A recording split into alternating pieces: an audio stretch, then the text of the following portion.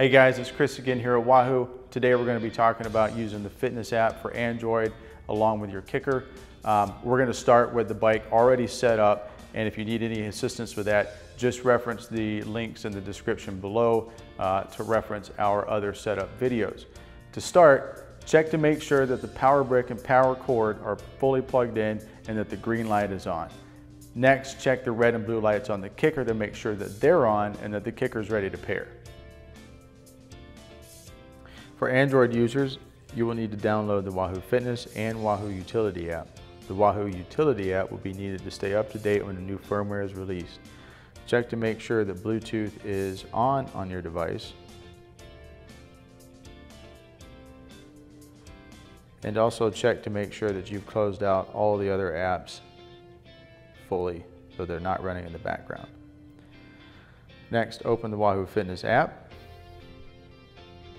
Tap on the sensors icon at the top of the page wait for your KICKR to appear. If it doesn't appear in this list, has it been paired, tap on the plus sign to add the new sensor and each time you connect to your KICKR, you want to make sure that you connect over Bluetooth. For some Android devices, they have the capability of connecting over BTLE and ANT+, but you'll want to connect to the KICKR over Bluetooth each time.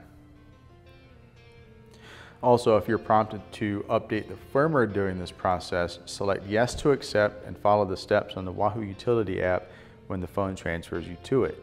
It's also worth noting that only one app on a single device can pair with your KICKR at a time, so if you don't see it in this list, make sure that you've closed out all the other apps and turned off any other device that is previously connected to the KICKR. Select Save Device and add it to the indoor cycling profile, select OK. Now that the pairing is complete, navigate back to the main screen to start a workout. Make sure that you have indoor cycling selected. Tap the green play button beneath it. Tap start to begin the workout. The first page in the workout will give you some basic information, but if you swipe to the right, You'll get a more detailed analysis of the workout and eventually end up at the KICKR control page.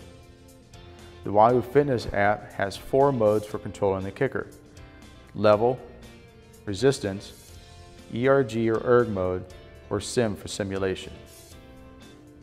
In the level mode, the KICKR is going to feel very similar to a fluid or wind trainer in that as you ride harder, the resistance is going to increase. In the resistance mode, this is going to feel very similar to increasing that resistance on the spin bike at the gym.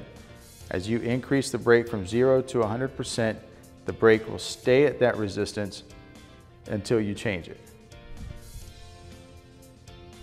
In the ERG or erg mode setting, this will set the resistance to a target wattage and keep it there regardless of cadence or speed. If the cadence decreases, the KICKR will apply more brake to keep that power consistent. If the cadence increases, exerting more power, that resistance will release and keep the power at that same target wattage.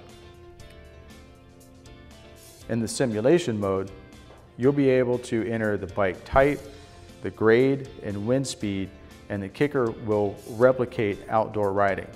You'll want to make sure that you have your wheel size set correctly and that you have your weight set correctly in the settings in the app to ensure that it feels the most realistic. More info on spin downs and firmware updates are also available in the video description. Thanks again for joining us and getting your KICKR paired and feel free to contact us through our support page for any additional questions.